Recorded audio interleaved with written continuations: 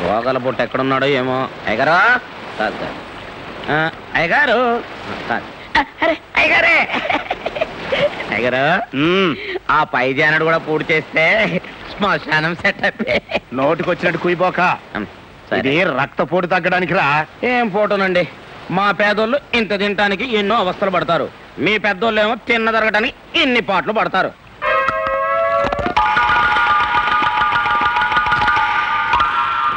ఏంటా మెక్కుడు? Dairy farm గొట్టులాగా నా కంటి ముందట మెక్కబోకరా? ఆకలిగా ఉంది నాలుగు పీకేస్తుంది. ఆకలి పట్టుకోవటానికి మంచి కట్ చెప్పనా? కథలు చెప్పడం నీకు అలవాటే కదా? చెప్పు. మరే అనగనగనగనగా ఒక ఊళ్ళో బాగా డబ్బున్న మారోజు ఒక ఆయన ఉన్నాడు. ఆయనకి ఎంత సంపాదించినా తృప్తి లేదండి. ఇదేదో నా కథలాగా ఉందట్రా? అబ్బా సెంటర్లో చేంజ్లు ఉంటాయండి. మధ్యలో బ్రేక్ లేకండి మీరు. ఆయన పేరు అలెగ్జాండర్ అండి. దేశాలు దేశాలు గెలిచిన తర్వాత చివరికి చచ్చిపోయేటప్పుడు ఒక చిన్న కోరిక కోరాడటండి. ఏమని? నేను చచ్చిపోయిన తర్వాత నన్ను పాతి పెట్టేటప్పుడు నా చేతులు బయటికి పెట్టి పాతి పెట్టమన్నాడటండి. దేనికి? ప్రపంచాన్ని జయించిన అలెగ్జాండర్ పోతూ పోతూ వట్టి చేతులతోనే పోయాడని జనానికి తెలియడానికి అవును రే. ఈ కథ నాకెందుకు చెబుతున్నట్టు? ఎందుకంటే ఉన్నదాంతో తృప్తి పడక ఇంకా ఇంకా సంపాదించాలని ఉన్న ఒక్కగానొక్క కొడుకును జైలు పాలు చేసుకుని చెప్పు దెబ్బలు తిన్న మీ బుద్ధి మారాలని. జ్ఞానోదయం అయిపోయిందిరా. ఇక నేను ఆగలేను. నా చేతులు బయటికి తినన్నా నా ఆస్తిలో సగం నీకు రాసి ఇచ్చేస్తా. థ్యాంక్స్ అండి. మీ ఒంటెన్ని రోగాలున్నా మీ మనసు మాత్రం వెళ్ళండి. అనండి. ఎందుకంటే కొట్టారు? నాకు ఎంత స్టోరీ చెప్పి ఆస్తిలో సగం ఇస్తానని అనగానే అంటే మీద పడతావా? కుక్కలాగా? చెప్పు దెబ్బలు తిని ఉప్పు చేపల పడి ఉంటాను అనుకున్నావా చూస్తా ఉండరా. ఈ గోతులో ఉండే వాళ్ళకి గోతులు తవ్వుతా ఆ రెండో టేబుల్ కాఫీ ఎవరా ఏం కావాలి బాబు ఓ మినపట్టు పడరా మినపట్టలేదు లేదా అప్పుడే అయిపోవడమేంటి ఏ నువ్వు వస్తావు మేము కలగానే పిండి అయిపోయింది చపాతి కావాలా సరే పడరా సింగిల్ చపాతి కప్పు మీద పెంకులు దిక్కులేదు కానీ బోర్డు మాత్రం షోక్గా పెట్టాడు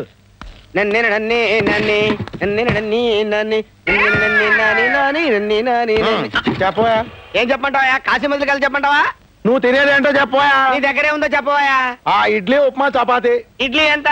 మూడు రూపాయలు. చట్నీ? ఫ్రీ. ఫ్రీయా. ఉప్మా? ఐదు రూపాయలు. చట్నీ ఎంత? ఫ్రీ. ఫ్రీయా. అయితే రెండు ప్లేట్ చట్నీ తీసురా. చట్నీయా? ఆ. వట్టి చట్నీ ఏం చేసుకుంటావయ్యా? తలకి పట్టించి తలస్నానం చేసుకుంటా నీకెందుకు తీసురావా? ఎవడండి హోటల్ కొత్తలో ఉన్నాడు. రే ఇస్తాను నీకు చిన్న జలక్. పట్రా చెప్తా. ఈడవ్వ. ఈ చిదంబరం గారి హోటల్లో చపాతీ తిన్నా కంటే పాత హవాయి చెప్పు పీకు తిన్నా బెటర్ నన్నే నన్నే నన్న థ్యాంక్ యూ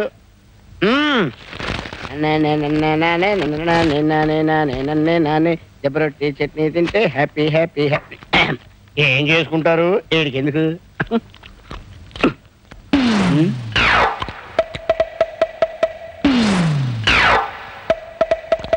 చిదంబరం చిదంబరం ఏంటి ఆంబోతులు అలా అరుస్తున్నావు ఏరా నేను మినపట్టడితే పిండి లేదన్నావు అవును. దిబ్బరొట్టుకి ఎక్కడి నుంచి వచ్చింది ఆ పిండి? దెబ్బ రొట్టె నేను బిల్లి ఉన్నాను రై నీకు ఈ దెబ్బ రొట్టె ఎక్కడి నుంచి వచ్చిందా ఎక్కడి నుంచి రావడం అంటే ఇంటి దగ్గర నుంచి తెచ్చుకున్నాం ఇంటి దగ్గర నుంచి తెచ్చుకున్నావా? అవును. ఆగు చట్నీకి. చట్నీ చట్నీ ఫ్రీ అని చెప్పావు కదా? ఫ్రీ అంటే విడిగా ఫ్రీ కాదు. టిఫిన్తో కలిపి ఫ్రీ అన్నాను అవును నువ్వు టిఫిన్ ఇవ్వలేదు కదా టిఫిన్ నా దగ్గర ఉన్న టిఫిన్ అడగలేదు కదా చట్నీ ఫ్రీ అని చెప్పావు కదా చట్నీ టిఫిన్తో చెప్పారు కదా చట్నీ ఫ్రీ అన్నావు కదా ఆ, చట్నీ ఫ్రీ ఫ్రీ అని చెప్పి.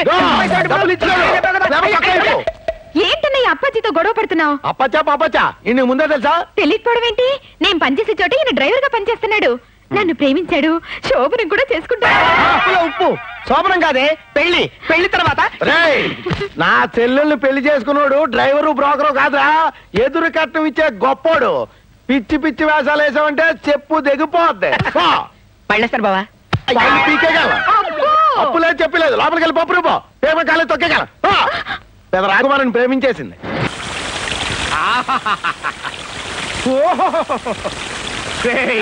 చల్లగా కమ్మగా ఉందిరా. అంతేలేండి. బాబు కొడుకులు విడిపోయారు కదా. మీకు సమ్మగానే ఉంటది. అన్ సీజన్లో పుట్టిన వాళ్ళం కదా. ఆఫ్ సీజన్లో నీకు. నాకేంట్రా కమ్మడి సీజన్లో పుట్టినండి సరిగానే కమ్మడి కథ చెప్పరా. ఆ, అనగనగనగనగనగా ఉమ్. ఒక ఊళ్ళో ఇద్దరు ప్రాణ స్నేహితులు ఉన్నారండి. వాళ్ళిద్దరు జాయింట్గా రత్నాల వ్యాపారం చేసేవాళ్ళండి.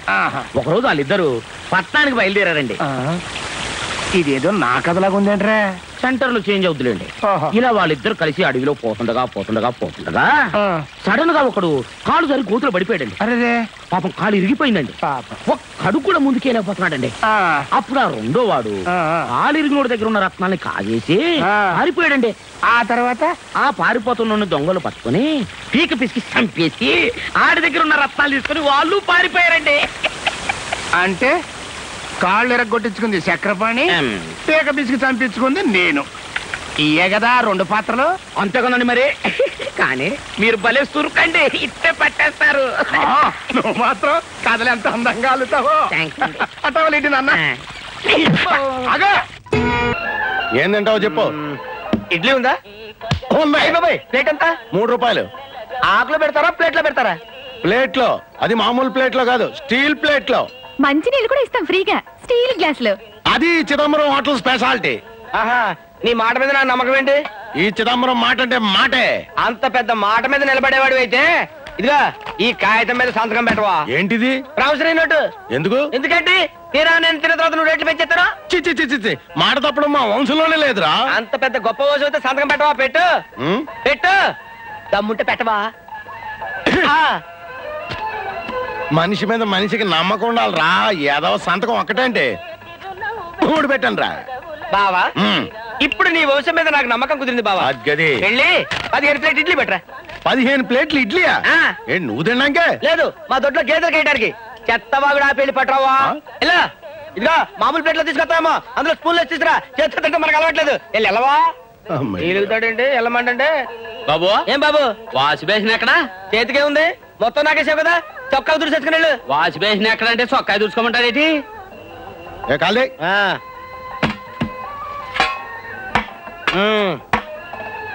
ఏంటా ఈ ఇడ్లీయా టాబ్లెట్లా? క్యాబినెట్ లాంటి ఇడ్లీ. ఆహా. ఏంటి అక్కడ పెడతాడు మంత్రులు? తీసురా.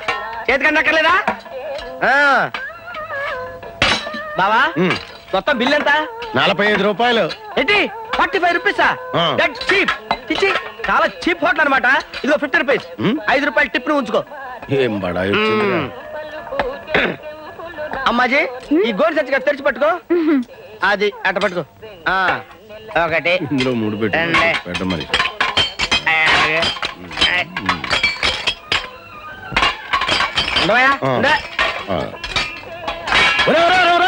ప్లేట్లు గ్లాసులు గోన్సెంట్లో పడేస్తున్నాడు తీ. నువ్వే కదా చెప్పావు. ప్లేట్ ఇడ్లీ మూడు రూపాయలని. పదిహేను ప్లేట్లకు నలభై ఐదు రూపాయలు ఇచ్చాను.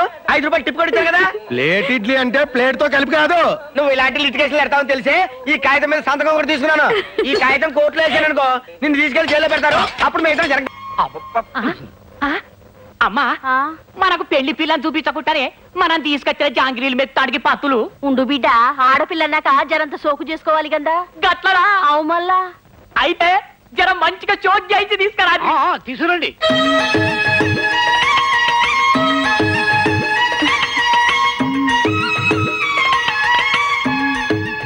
అమ్మో ఇదేంటే ఇంకా పెళ్ళి పిల్లను ఆడోళ్ళు తీసుకురాకుండా ఈ మొగ పొరడు తీసుకొచ్చిండేది? గదే నాకు సంజయితలేదు బిడ్డ. మేమిద్దరం ఫ్రెండ్స్ లేండి ఎంత ఫ్రెండ్స్ ఏంది? ఇచ్చి పుచ్చుకునే అంత దోస్తి మాది. గట్లనా? నువ్వే విత్తావు నావే ముచ్చుకుంటది. ఎందుకు బిడ్డ? అమ్మాయి చాయ్ తెచ్చింది గది తీసుకున్నా ముందు. అవునవును తీసుకోండి. నీ పేరేందమ్మా? అగ్గో పాటలు రావా? నువ్వంటే రెండో పెళ్ళోడివి. ఈ పిల్లకి మొదటి పెళ్ళేగా? అందుకని సిగ్గుపడుతోంది. పర్వాలేదు చెప్పు. ఒక పాట బా రాదమ్మా. ఆ, ఆకు చాటు పింద తడిచే కోకమాటు పిల్ల తడిచే ఆకాశ ఈ పాటలేంటి? ఆకు చాటు పింద తడిచే కోకమాటు పిల్ల తడిచే ఆకాశ గంగొచ్చింది అదేంది ఇక్కడ కావలించుకొని ధ్యానం చేస్తాంది. సంతోషం వస్తే అంతే పక్కాలని వాటేసుకుంటుంది. బ్యాగ్ ఇది? పక్కన ఎవరింటి వాళ్ళకి ఇచ్చే వాటేసుకుంటారా? ఆ. కూరలు ఉంటేనే వాటేసుకుంటుంది. అమ్మో పెళ్ళం అయితే చెప్పకుండానే లేచిపోయింది. ఇదైతే నా కళ్ళ ముందే లేచిపోయేటట్టున్నది ఈ సంబంధం నాకద్దు. అమ్మో ఈ సంబంధం నాకద్దని చెప్పారు కదా ఈ సంబంధం నాకద్దు నాయనా పోదాం పాన్రి అమ్మా జల్ది పోదాం పాన్రే ఇంకొక మినిట్ గిట్ట సెవెంటీ ఎంఎం లో సైన్మా చూపించేటట్టున్నాడు నా జన్మలకి ఇతడి సంబంధం బావా ఇదేంటి అట్లా చూసుకుంటే ఇట్లా ఉరుకుతున్నావు నా చెల్లెలు గిట్ట నచ్చలేదా నీ చెల్లెలకేమన్నా జబర్దస్త్ ఉన్నది తాళి నాతో కట్టించుకుంటుందట సంసారంగా పోరంతో చేస్తుందట ఏమన్నావురా సాలే అంటే నా చెల్లెలు బజారు మనిషి అంటావురా తేరి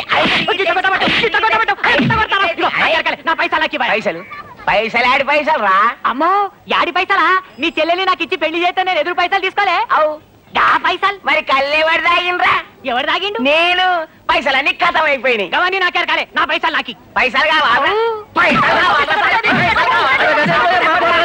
ఆ, మరి వాళ్ళు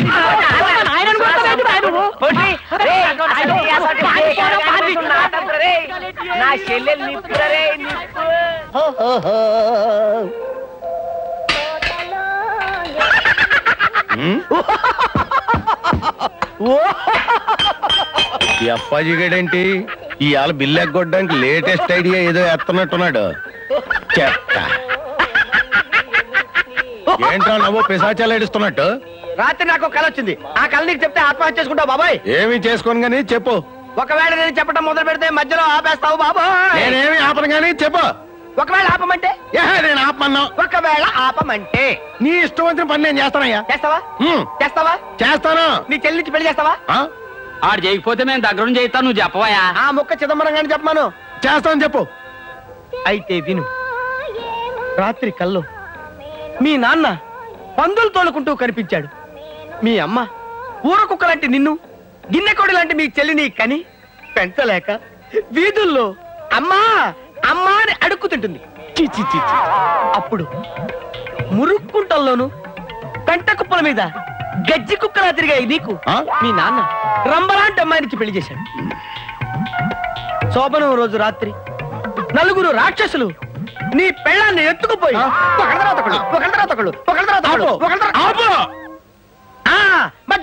నీ చెల్లెలు పెళ్ళి చేసావు నీకు అమ్మాజీకి దగ్గరుండి మేం చేస్తాం పెళ్ళి. ఒరే దండలు ఇదిగోండి దండలు దండలు మార్చుకోండి. అలాగే.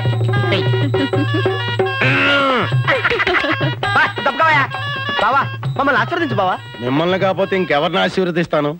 రా అమ్మాజీ. అన్నయ్య. నీకు ఈ జన్మ పెళ్ళవుతుందని అనుకోలేదు. అయినా బాధగా ఉంది. బాధెందుకు బావా? నా చెల్లికి చిన్నప్పుడే పెళ్ళయింది. కానీ పెళ్ళైన రెండో రోజునే దేవుడు లారీ రూపంలో వచ్చి దీని మొగుడిని ఎత్తుకుపోయాడు. అరగంట క్రితం వరకు నా చెల్లి విడో. విడో? మామూలు విడో కాదు బావా. Young widow. మొగుడు పోయిన మూడో రోజునే నలుగురు దుర్మార్గులు దీన్ని తీసుకుపోయి మానభంగం చేసేశారు. మానభంగమా? ఇందాక నీకు వచ్చింది కళ. ఇది వాస్తవం బావా. నన్ను క్షమించప్పాజీ పర్వాలేదమ్మాజీ పద రాజమండ్రి వెళ్దాం. రాజమండ్రా? ఎందుకు? అక్కడ పవిత్ర గోదావరిలో నేను అమ్మాజీ స్నానం చేసి పవిత్రంగా మా జీవితాన్ని ఆరంభిస్తాం. నీలో శ్రీకృష్ణుడు కనపడుతున్నాడు బావా.